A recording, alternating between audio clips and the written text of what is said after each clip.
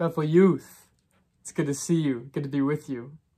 Hey, I just want to say the reason that we do these devotionals is so that you would have a love for God's Word.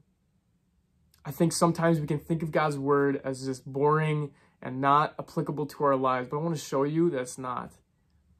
I want to show you that it's something incredible that speaks to our lives today and encourages us, right? It's God's Word, it's living and active. So today's devotional comes from 1 Samuel chapter 7, verse 12. Here's what it says. Then Samuel took a stone and set it up between Mizpah and Shen and called its name Ebenezer. For he said, Till now the Lord has helped us. So there's a few things we got to know, right, for, for this verse to make sense. One, Samuel's a prophet, just like Jeremiah, right? Samuel's a prophet called by God to lead the people and to call them out on their sin. And so Samuel was doing just that earlier in the chapter.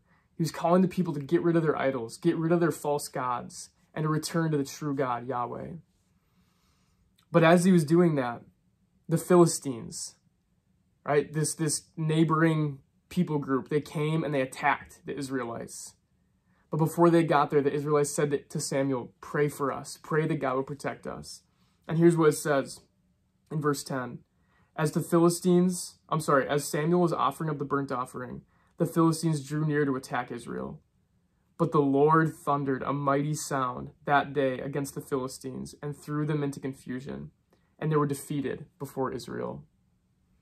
So that's what brings us to, to verse 12, when it says that Samuel took a stone and set it up at that place and called it Ebenezer. Right? The word Ebenezer literally means stone of help. So he was doing this to remember what God had done. So here's what I'm telling you. In this Christian life, we need to have Ebenezers. We need to have times where God showed up so clearly. We need to record that. We need to write it down. Right? We need to, to draw a picture about it. We need to have something to remind us because there's going to be days when we're attacked. There's going to be days when we're down. There's going to be days when it's hard, when we want to give up, and that we think that God has left us. Right? But Samuel knew that the people needed to remember this time when God showed up and he saved them and he protected them. You need those too. Because I guarantee you this, there's going to be times when God shows up in your life in amazing ways, ways you never could have expected or hoped for.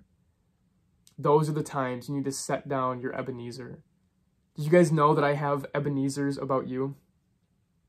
There's things, encouraging things, that I write down, right? When I see God working in your lives so clearly, I see him moving in ways I didn't expect.